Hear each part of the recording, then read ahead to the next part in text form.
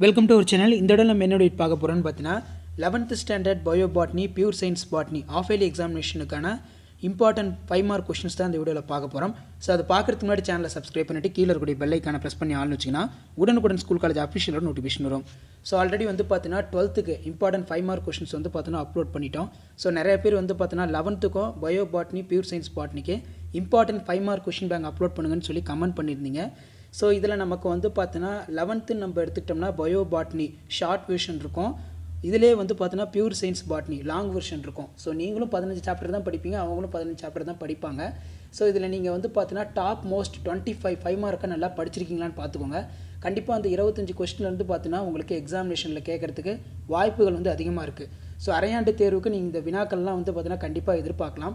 So இந்த twenty five கொஸ்டின்ஸும் நீங்கள் நல்லா படிச்சிருக்கீங்களான்னு பாருங்கள் half yearly exam twenty twenty two eleventh standard bio botany pure science botany question bank so இதில் நமக்கு ஃபஸ்ட்டு தமிழ் மீடியம் இருக்குது இங்கிலீஷ் மீடியம் இருக்குது ஸோ ஃபஸ்ட்டு கொஸ்டின் வந்து பார்த்தீங்கன்னா நமக்கு பயோ பாட்னி லெவன்த்து ஸ்டாண்டர்ட்னு எடுத்துட்டாலே பயாலஜியில் நமக்கு இன்டீரியர் தான் அதிகமாக கேட்பாங்க.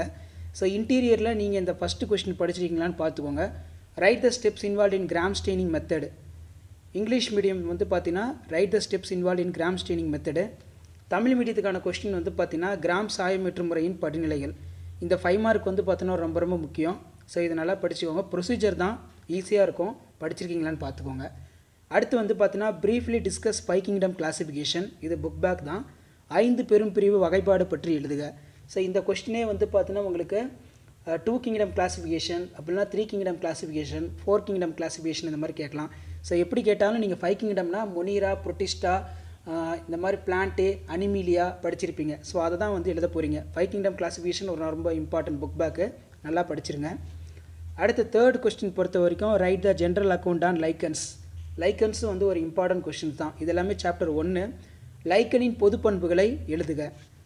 ஃபோர்த் கொஸ்டின் வந்து பார்த்தீங்கன்னா difference between gram positive and gram negative bacteria so biology ஸ்டூடெண்ட்ஸ்க்கு வந்து இது இன்டீரியர் கொஸ்டின் பியூர் சயின்ஸ் ஸ்டூடெண்ட்ஸ்க்கு வந்து பார்த்தீங்கன்னா இது புக் பேக் கொஸ்டின் கிராம் நேர் மற்றும் கிராம் எதிர் பாக்டீரியம் வேறுபாடு ரொம்ப ரொம்ப இம்பார்ட்டன்ட் பியூர் சயின்ஸ்க்கு ரொம்ப ரொம்ப இம்பார்ட்டன்ட் இந்த கொஸ்டின் அந்த நெக்ஸ்ட் வந்து பார்த்தீங்கன்னா fifth question explain the protostele within diagram புரோட்டோஸ்டீலின் வகைகளை படம் வரைந்து விளக்குக. ஸோ இது பியூர் சயின்ஸ்க்கு ரொம்ப ரொம்ப முக்கியமான interior question pure science students இந்த கொஸ்டின் நல்லா படிச்சுக்கோங்க. டயக்ராம் நல்லா வந்து ட்ரா பண்ணிக்கோங்க. இதில் மெயினாக நமக்கு டயக்ராம் வச்சு நம்ம ஓனாக எழுதுறது தான் explain the protostele within diagram புரோட்டோஸ்டீலின் வகைகளை படம் வரைந்து விளக்குக.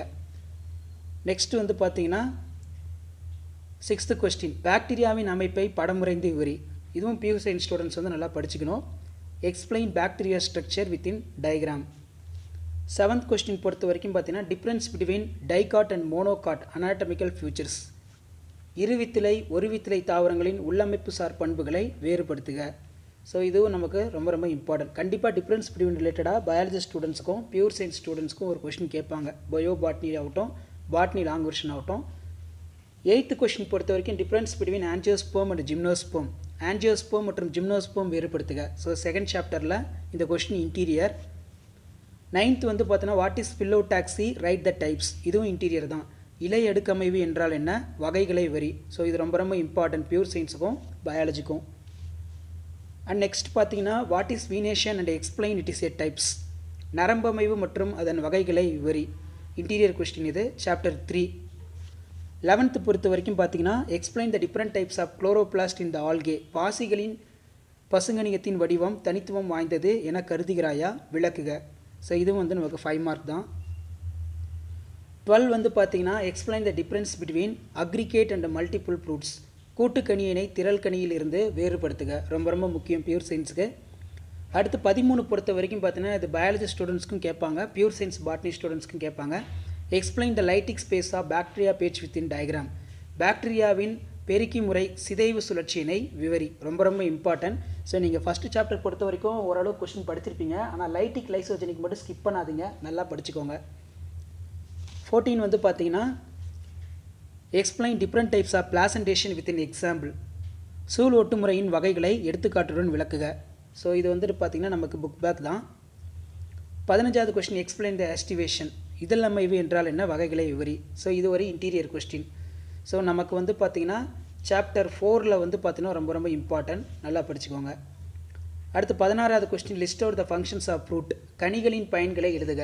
இது இன்டீரியர் பதினேழாவது கொஸ்டின் வந்து பார்த்தீங்கன்னா how will you distinguish Solanaceae member from Liliaceae chapter ஃபைவ்ல இருக்கும். இது நமக்கு வந்து பார்த்தீங்கன்னா புக் பேக் தான். இந்த புக் பேக்கில் பொறுத்த வரைக்கும் லில்லியேசி குடும்ப தாவரங்களை சோழனேசி குடும்ப தாவரத்தோட வேறுபடுத்துக. இதுவும் இம்பார்ட்டன்ட் ஃபைவ் மார்க் தான். இதையும் படித்து முடிச்சிருங்க.